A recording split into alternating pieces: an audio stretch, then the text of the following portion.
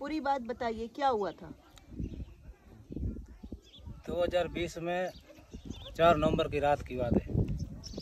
Camera school पढ़ाई भी करता है लॉकडाउन की वजह से गया था जोधपुर मजदूरी करने के लिए।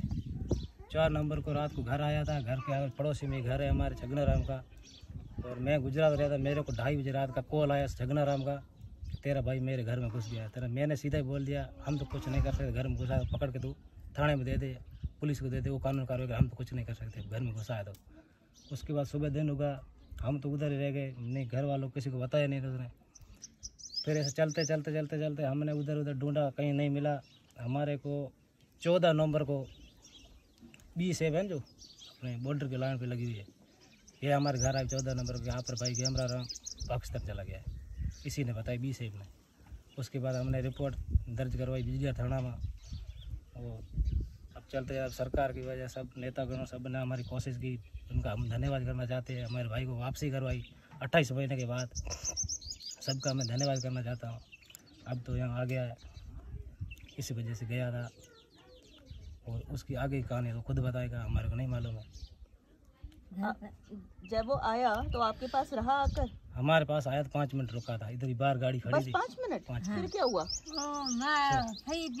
मेरी माता जी बेहोश हो गई उस वजह से वो अपने राजस्थान पुलिस साथ में थी। उसकी वजह से लेके चले गई यहाँ खड़ी थी बाहर गाड़ी खड़ी थी अंदर नहीं आया था। तो आकर कैसे मिला आपसे? पैर वैर छुए आपके? नहीं, गाड़ी से नीचे नहीं और गाड़ी के अंदर ही। बस देख के चले गया हाँ, तो आप लोगों ने दो साल बाद उसको देखा और बस दो मिनट पाँच मिनट के लिए देखा? पाँच मिनट पाँच मिनट से। पुलिस वालों का बर्ताव कैसा था? अच्छा ही था कोई गलत नहीं था। पुलिस वाले वो हमारे घंटा एक रोकने के लिए बोले थे लेकिन मेरी माता जी जब बेहोश हुई ना तब उन्होंने सोचा कुछ घर में कुछ होगा इसलिए वो वापस लेके चले गए। क्या पहने हुए था? कपड़ा पहने थे पैंट बस्ट। और कैसा लग रहा था मतलब? ठीक ठाक लग रहा था।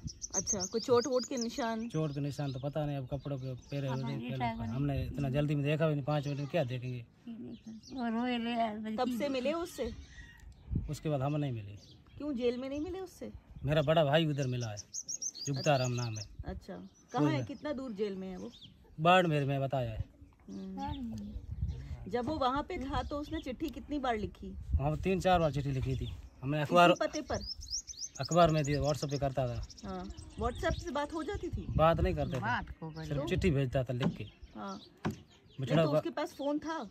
फ़ोन था पता नहीं किसका नहीं था किसका था वो मालूम नहीं हमारा अच्छा क्या लिखा रहता था चिट्ठी पर? है ही मैं मंगल कुशल हूँ परिवार कैसे हो सब कैसे हो ठीक ठाक हो ऐसे ही समझ कर पूछता था और कुछ नहीं लिखता था। आप लोग कौन सी जाति से हैं? हम मेघवाल जाति से ऐसी से। और जो लड़की थी? वो भी ऐसी से। सेम? सेम है। पर अच्छा और उसके पिताजी वो लड़की की उम्र क्या है? उम्र तो होगी सत्रह अठारह साल होगी।